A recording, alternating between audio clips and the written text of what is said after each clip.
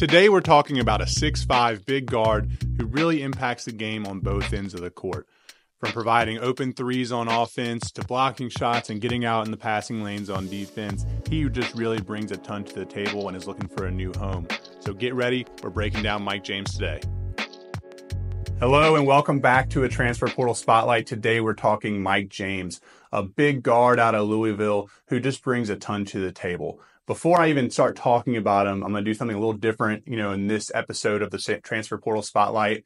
I just want to show you a quick clip that really embodies who this guy is as a 3 and D player. So this is just 3 and D in a nutshell. I mean, he gets down, deflects an alley-oop pass, gets down to the other end of the court, gets the ball and is just able to put it on the ground, overpower a smaller defender, get to the rim and finish.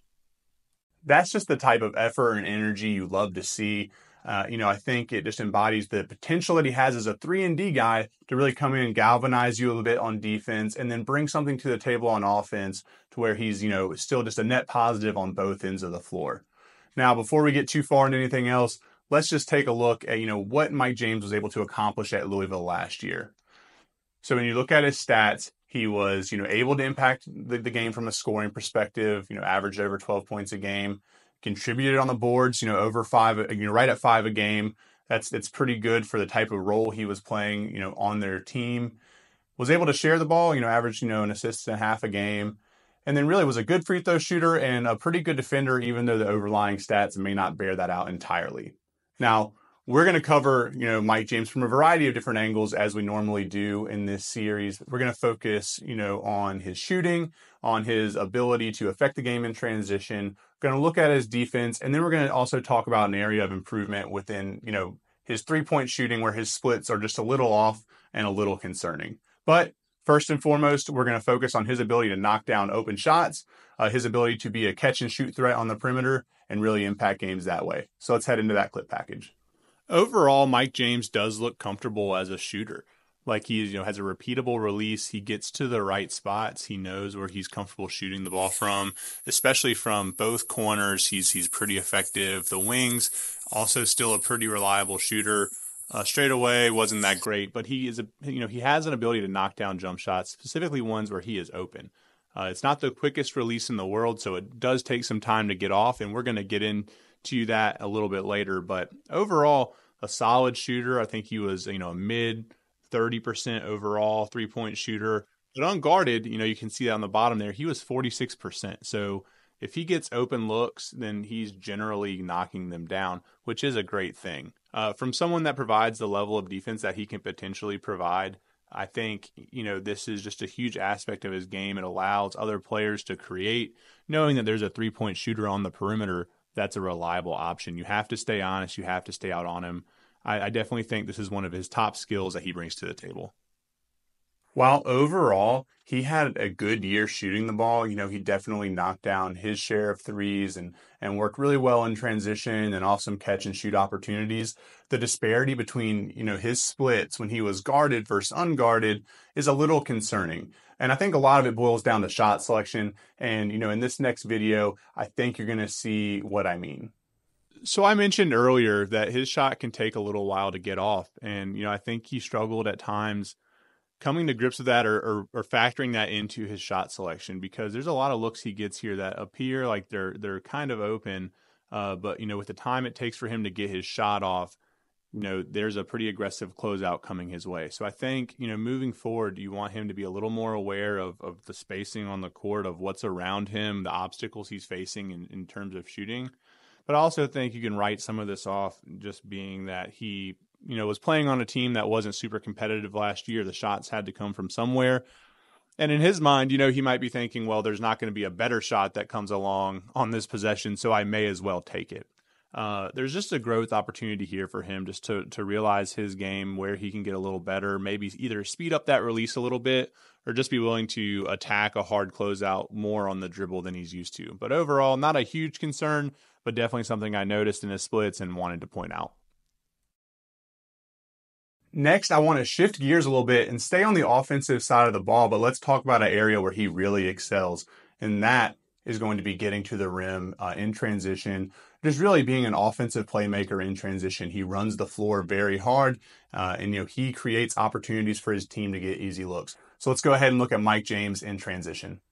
So probably the thing that I love the most about Mike James is that he is involved on the front end of all these plays and on the back end for the most part. Like he gets out in passing lanes very well.